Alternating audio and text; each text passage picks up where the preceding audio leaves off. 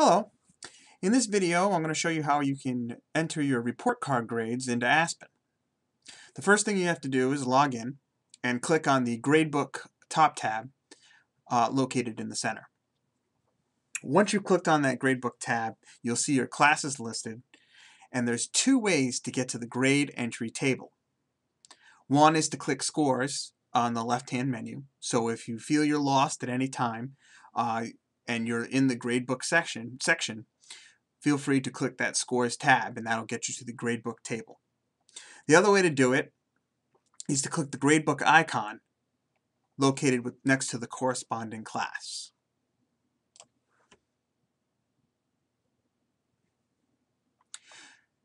This is what the gradebook entry table looks like. There's a couple things you need to know uh, to get started. One, uh, anything that has a rubric definition uh, will say rubric next to the column header. And the uh, short name, we call it, uh, will be located in bold black. These are the columns that you need to fill in.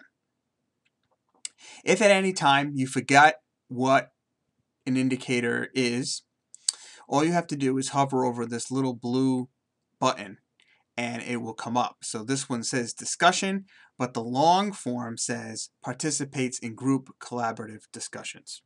So if you ever forget, just hover over that button and you can remember what it was. To enter the grades themselves, uh, it works very similar to a spreadsheet program like Excel or Sheets. Uh, you're going to take 1, 2, 3, 4, or NA, and you're just going to enter it into the corresponding column for the corresponding student. I like to use the down arrow as the quickest way to fill in an entire indicator. And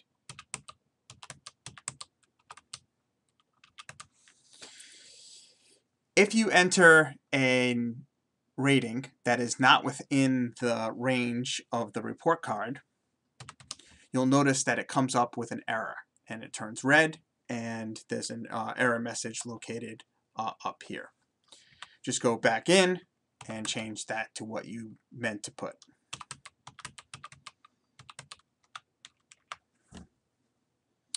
The last step here, uh, once you've finished all the columns you need to finish, is you have to press post grades. So in other words, the ratings you put in will save and they'll be in Aspen. But in order to send them to the report card, we have to click Post Grades. Once we do that, we just confirm that trimester 1 is there and we're, we're submitting for all students. We press OK. And the grades have been sent to the report card. To move to the next class, there are two options to do that. One, you could use this drop-down menu. So um, HL would be health, LC would be learner characteristics, RD would be reading, etc. Or you could use these arrows located over here.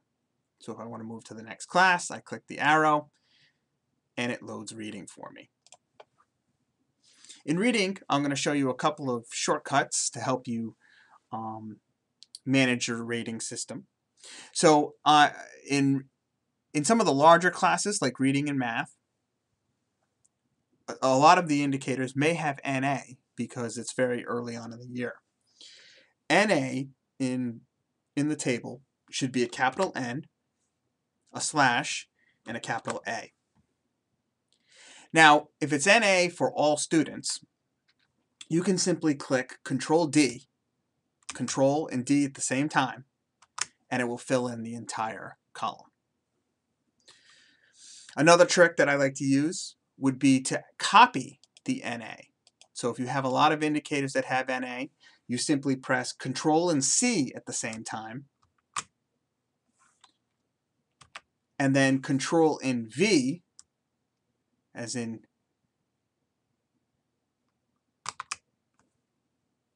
and then Control D will fill in. So Control V, Control D, Control V, Control D. Control V, Control D. Control V, Control D. Now once you get to the columns that you need to fill in, you fill those in. And then you can go back to Control V, Control D. Control V, Control D. And then we can fill another one in.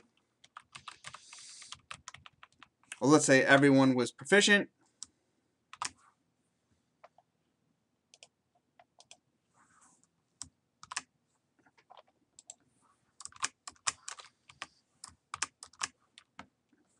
And then my uh, my that entire reading um, reading class is done. The last thing I want to show you is I want to show you uh, learner characteristics. There's one thing that's different on learner characteristics. Don't forget to post grades.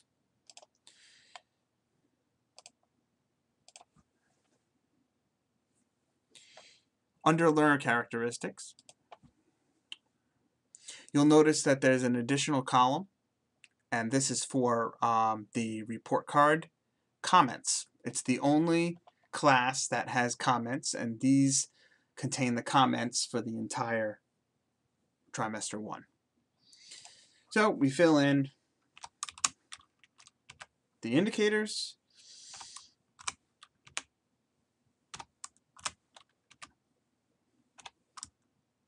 Now let's say uh, you, you didn't mean to do all threes here, you can actually just go in and, and change one if you if you need to.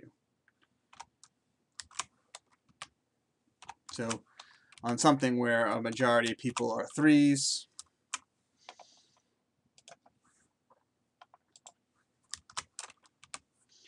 or even fours,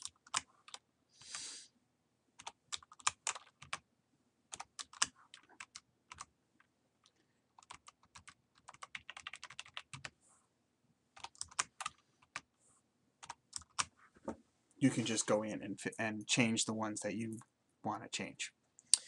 So to put in your comments, you see we have a little paper with a pen. Just click that paper and pen. And here is where you can write comments, notes, and other stuff. Don't forget to click Save.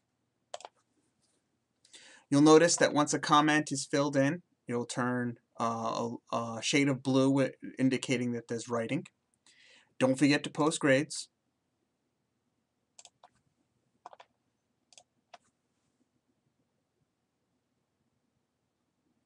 And now all of that material has been sent to the report card. Before we take a look at what the report card looks like, let's just click Pages so uh, this is it for report card entry. This is really ba the basics that you need to know. Uh, to verify that you've actually posted in all your classes, you're going to want to click Pages. And you'll notice that um, next to the corresponding class, you have a column called Posted. And if you have posted, a green check mark will appear, indicating that you have indeed posted to the report card.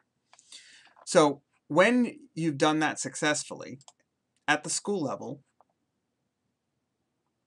they will be able to run the report card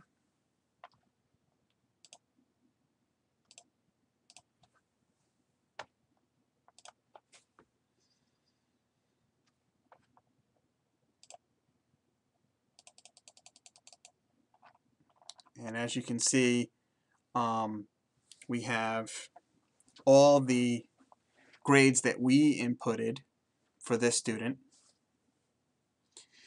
uh, in the proper corresponding spots so for T1, trimester 1. Our comments are located here. Uh, but also notice that the only classes that show up on the report card are the ones that we posted. So it's important to note that um, that if you don't post, the report card will be inaccurate. So uh, that's it for basics of report card um, rating entry into Aspen. If you have any questions, feel free to email us at, at any time and we'll try to fix or solve your problem.